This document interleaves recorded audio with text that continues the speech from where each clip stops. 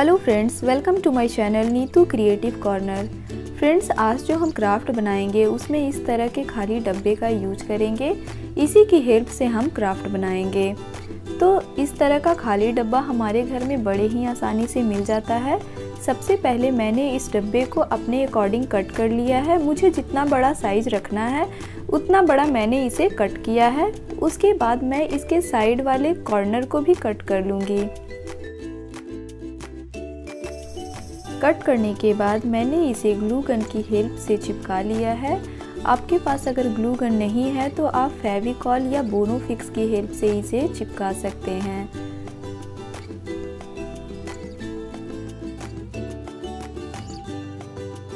Corner चिपकाने के बाद इसी डब्बे का जो बचा हुआ पार्ट है, उससे एक साइड को बंद कर देंगे।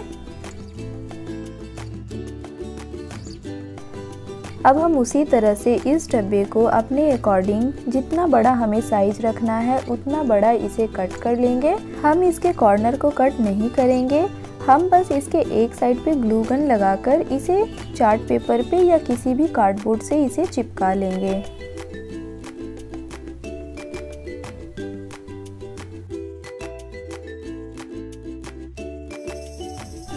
ऊपर वाले साइड पर हम एक इस तरह का कार्डबोर्ड कट करेंगे।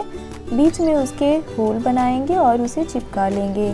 चिपकाने के बाद अगर आपका ग्लू गन या फेविकॉल से अच्छी तरह से कार्डबोर्ड नहीं चिपकता है तो आप इसे सेलो टेप की हेल्प से भी अच्छी तरह से चिपका सकते हैं। या इसे फेविकॉल से चिपकाने के बाद आप अच्छी तरह से इसे सेलो टेप से भी कवर कर सकते हैं। फिर हम एक डब्बे में वाइट सीमेंट लेंगे और इसमें पानी मिक्स करके पतला घोल तैयार करेंगे। घोल तैयार करने के बाद हम इस घोल को इस डब्बे में डालेंगे और चारों तरफ़ से अच्छी तरह से मिलाते हुए जो एक्स्ट्रा वाइट सीमेंट है, उसे इस डब्बे में निकाल देंगे। इस प्रोसेस को हम तीन से चार बार करेंगे। ध्यान दें कि आपने जो वाइट सीमेंट का घोल इसमें डाला है, वो अच्छी तरह से सेट हो जाए। तब इसके बाद हम फिर से दोबारा इसमें वाइट सीमेंट का घोल डालेंगे। और जो एक्स्ट्रा वाइट सीमेंट है, उसे निकाल लेंगे। जब ये अच्छी तरह से सूख जाएगा तो हम किसी भी बर्तन में थोड़ा सा पानी लेंगे और उसमें इसे डालकर अच्छी तरह से गीला कर लेंगे। गीला करने के बाद जो हमारा डब्बा है, वो आसानी से इसमें से बाहर निकल जाएगा।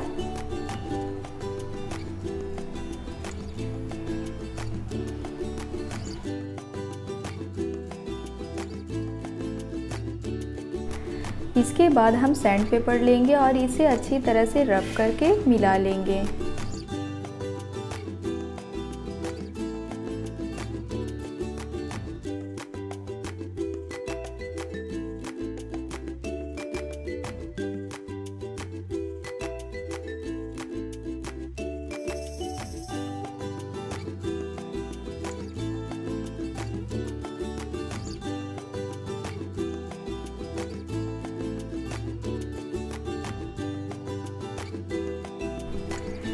तो देखिए, सूखने के बाद ये कुछ इस तरह का दिख रहा है।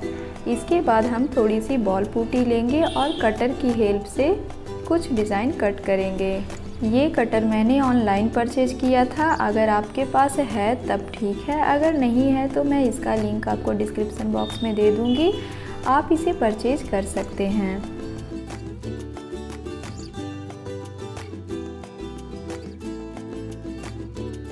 हमने कटर की हेल्प से जो डिज़ाइन कट किए थे, वो अच्छी तरह से सूख गए हैं तो मैं बॉल फूटी के गाढ़े घोल से इसे चिपका रही हूँ।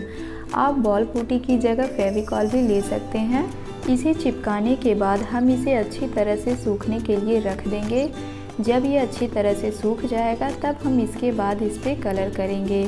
कलर आप अपने अकॉर्डिंग करें। आपको जो भी कलर पसंद हो, आप उस कलर से इसे कलर करें। फ्रेंड्स इस तरह के डब्बे हमारे घर में अक्सर किसी न किसी सामान में आते रहते हैं तो हम सामान का तो यूज़ कर लेते हैं, पर इन डब्बों को फेंक देते हैं। इस वीडियो को देखने के बाद आप कभी भी इस तरह के डब्बे को बाहर नहीं फेंकेंगे, उसे अपनी यूज़ में लाएँगे। इस तरह से इस डब्बे का यूज़ कर कर हम बहुत ही सुंदर सा पॉट बना सकते हैं और इसे एज ए प्लांटर भी यूज़ कर सकते हैं। तो मार्केट से जो हम इतने महँगे महँगे पॉट लाते हैं उसे ना लाकर हम बहुत ही कम खर्चे में इस तरह के पॉट बनाकर उसे हम अच्छी तरह से यूज़ कर सकते हैं। फ्रेंड्स, आप इस वीडियो को पूरा देखें और अगर आपको इस वीडियो में कुछ समझ में नहीं आता है तो आप मुझे कमेंट सेक्शन में कमेंट करके ज़रूर पूछें। मैं आपके कमेंट का रिप्लाई ज़रूर दूँगी।